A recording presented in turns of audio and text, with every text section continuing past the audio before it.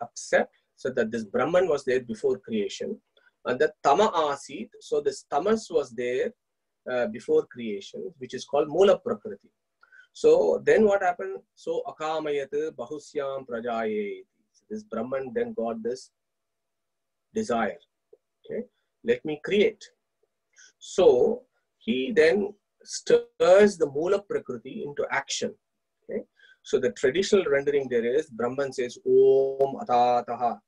So then that vibration creates ripples in Mula Prakriti. And those ripples creates three sets of entities called Sattva, Rajas, and Tamas. Okay, so there is some confusion about what the Sattva, Rajas, and Tamas actually means. People say Sattva Guna, Rajo Guna, and Tamo Guna. That's correct. But what has gunas? Guna means attributes qualities. What has what has qualities? It's the objects that have qualities. So when I talk about Sattva Guna, what I mean is those objects that have the qualities of Sattva, those objects that have quality of Rajas, those objects that quality of Tamas. So these are the objects that are in a, in, in a suspended animation in Mula Prakriti. So that is what is going on here. So the Brahman is uh, basically setting out these vibrations and then the Mula Prakriti goes into motion and he initially creates these three sets of subtle, very subtle material entities. Okay? Now the three subtle material entities I thought was interesting because I thought why Sattva Rajas Tamas? Why there should be only three? Why there could have been five? There could have been five different things. There could have been six different things, or there could have been two. Why only Sattva, Rajas, and Tamas?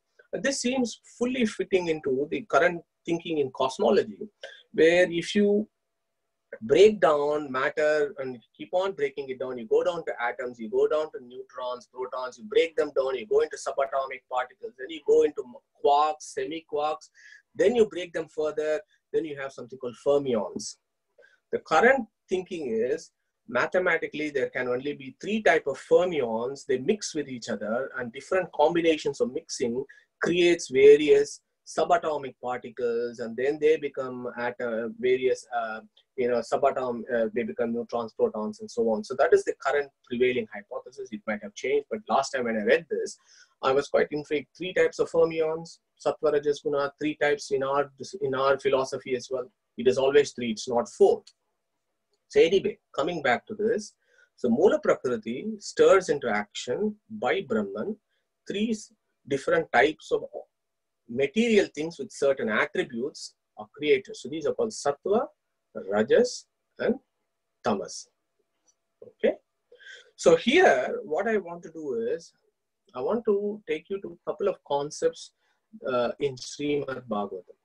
The Srimad Bhagavatam then starts here and then he says, you know, creation is of nine stages. There are nine stages of creation and three types of destruction. And it goes into great length in uh, third canto and also in the second canto. It grows into great length. But here I've listed just a few verses, which is extremely interesting and is also for our own understanding as to all this. What is this Mahat Tattva, Ahankara Tattva? There's lots of confusion. It helps us place it where they're supposed to be. Okay.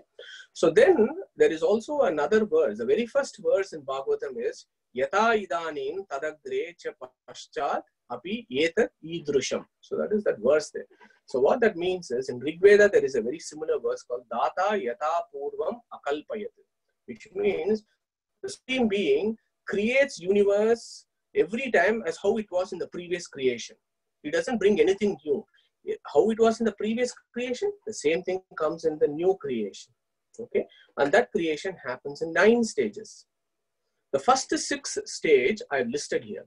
So let us go back to this. So you have sattva, rajas, and tamas. So these are gunas, but when I say guna, it means the objects that have that kind of gunas. They all start mixing. So when they mix, sattva, rajas, tamo gunas are very, very subtle matter. Uh, when they mix together, they form what is called as Mahat. Mahat is also a, a very subtle form of matter. Okay. Now, a part of Mahat, so basically what the philosophy there is, creation and the creation of the universe is starting from the most subtle to become the most gross.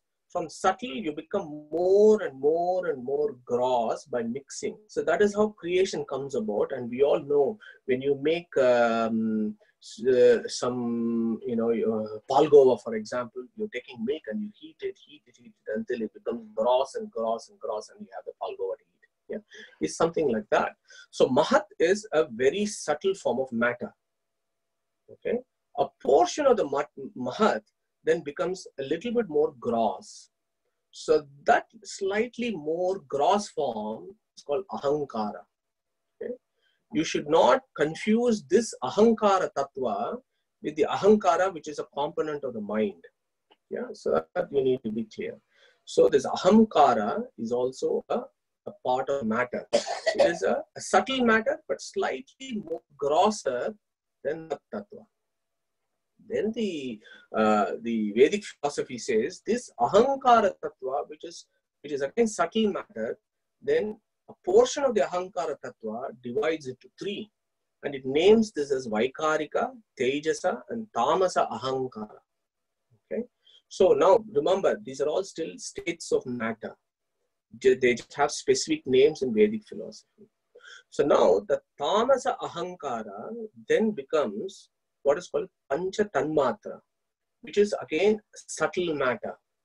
And the Pancha Tanmatras then become Pancha Bhutas, which is the gross matter. So what is the gross matter? Akasha, Vayu, Tejas, Ap and Prithvi. The five elements are the gross matter. But the five elements have their origin from Mula Prakriti, Sattva Rajas Tamas, Mahat Ahankara, then Tamas Ahankara, Pancha Tanmatra and Pancha Bhuta. Then they become the Akasha, Vayu, Tejas, Ap and Prithvi. Yeah. Now the Pancha Tanmatras are the subtle elements or the qualities of space, Shabda, sound, Vayu, touch, Tejas, form, Ap uh, is rasa, taste, Prithvi, Gandha, smell. So these are subtle forms of matter. We all know Gandha is what? Gandha is what you smell. That smell is, is not some, the smell is chemicals, yes? The chemicals that goes to your nostril is what gives you the sense of gandha. So those chemicals are subtle matter. And that is what the philosophers are saying. When I say pancha tanmatra, when I say gandha, it is that subtle matter. Yeah. So from our tamasa ahankara, you get pancha tanmatras and panchabhutas. So this should not be confused. That these are all states of matter. Now this gets interesting. So the Vedic philosophy of creation is non-living things. So the jadas that are made of the made in the universe, they go through this path of Mahat Ahankara, Tamasa Ahankara, Pancha Tanmatra, and Panchabhutas. Okay, these are non-living things. So then the Vedic sees, then the Vedic philosopher says, you also need to create other components in this universe so that the souls become aware of the Panchabhutas. So to become aware of the Panchabhutas, how do we become aware of the external world around us? We use our sense organs. So even those are created. So the philosopher says that the Tejasa Ahankara, the matter, becomes Karma Indriyas and Jnana Indriyas. Jnana Indriyas, with the Shrotra, Chakshus, Rasana and Grana, you perceive the external world. That is the Indra, Indriyas.